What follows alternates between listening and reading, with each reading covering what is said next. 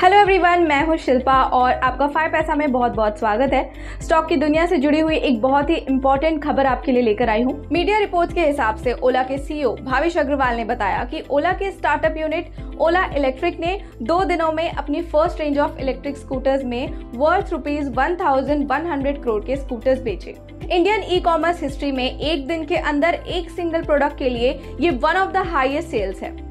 ओला first नवंबर को दिवाली के लिए सेल्स विंडो रीओपन करने का प्लान कर रही है। कंपनी ने कहा कि कंज्यूमर्स ओला इलेक्ट्रिक वेबसाइट पर फोर हंड्रेड रुपीज़ में रिजर्वेशन स्लॉट बुक कर सकते हैं और जिन्होंने ऑलरेडी स्लॉट रिज़र्व कर लिया है और थर्सडे को क्लोज हुए विंडो से स्कूटर नहीं खरीद पाए हैं, वो भी फ़र्स्ट नवंबर को प्रोडक्ट खरीद सकते हैं। ओला ने एंट्री लेवल मॉडल के लिए अपना पहला electric scooter S one rupees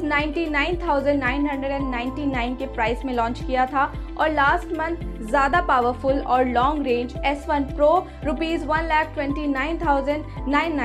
के प्राइस में लॉन्च किया था।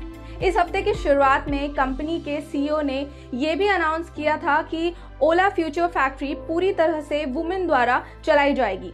जब प्लांट अपने फुल प्रोडक्शन कैपेसिटी पर पहुँच जाएगा तब 10,000 वुमेन को एम्प्लॉयमेंट दिया जाएगा। और ये वर्ल्ड की लार्जेस्ट वुमेन ओनली फैक्ट्री बन जाएगी और वर्ल्ड में ऐसी एक अकेली all women automotive manufacturing facility भी कहलाएगी।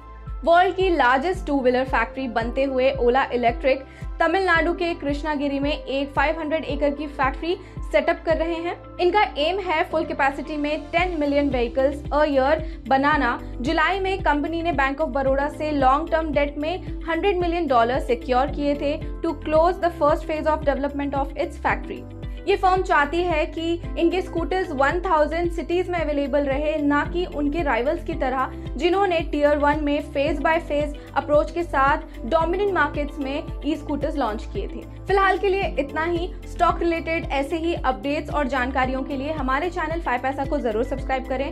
And also don't forget to hit the bell icon for more notifications